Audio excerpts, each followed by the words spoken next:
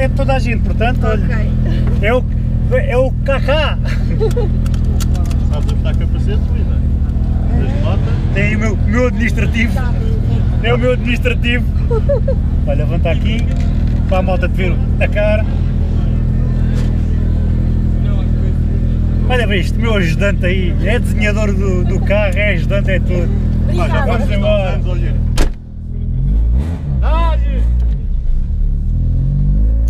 Então, como é que se chama a menina? Soraya. Soraya.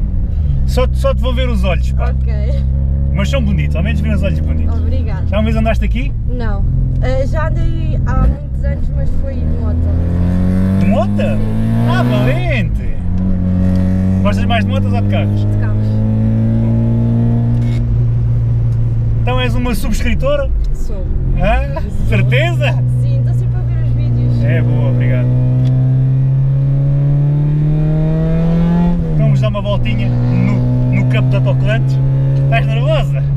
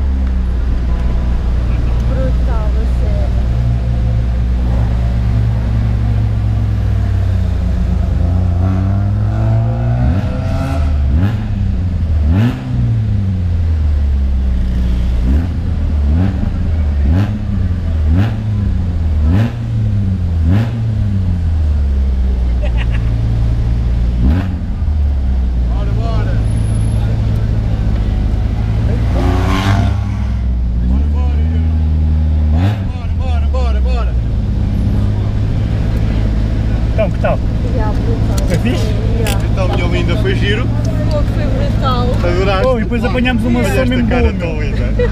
Apanhámos uma sessão mesmo boa, meu. Yeah. Grande picaria mesmo. Papá, vocês estão os dois com uma cara muito gira. Puta, vai dar calor. Estou a chorar já. Sério. Não tens nada a reclamar, nem nada? Não, Nada, nada, nada? nada. O que é que gostaste mais, da reta da meta ou das curvas? Das curvas. Adoraste? E o S, aquele S assim, muito apertadinho. Yeah. E a parabólica, mete medo ou não? Pá, um bocadinho. A ver o Cascais Shopping a aproximar, não é, minha linda? Não, mas Estão a lá, sério. divertiram-se muito. fixe, é o, que- é o que interessa. Perdi a minha matrícula atrás, agora tenho que ir à caça da da matrícula. A sério? Deve estar para lá perdido. Vai, está feito. Malta do Aço, este foi o último vídeo. Eh, o Track Day correu lindamente. Organização espetacular, não houve assim incidentes de maior. Consegui andar com alguns subscritores, consegui registrar algumas impressões. O carro portou-se lindamente, mecânica portou-se lindamente.